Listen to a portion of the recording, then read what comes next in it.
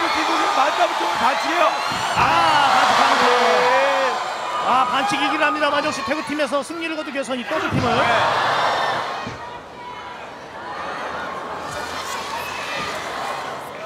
아, 먹고 먹고. 태클 목을 있는 유재석. 아, 이러면 시작부터 이러면 다리가 풀리거든요. 유재석 두개 빠른 스피드를 이용할 수가 없습니다. 아, 높은 언덕이죠.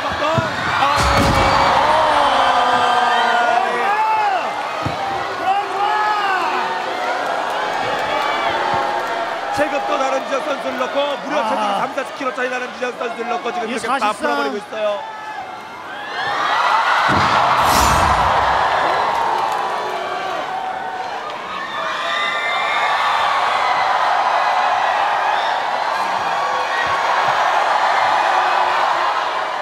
아, 태구를 하기 위해서 지금 가고 있는데요. 태그, 태그, 태그, 태그. 아, 아니네요. 이게 바로 희망 고문입니다. 태그할 거라는 희망을 주면서 마지막에 채는 거예요. 아, 이 무엇보다도 프로레슬링에서 이 태그 직전 잡아채는 거 네. 네, 상당한 그 고문이 아닐 수 없습니다. 그렇습니다.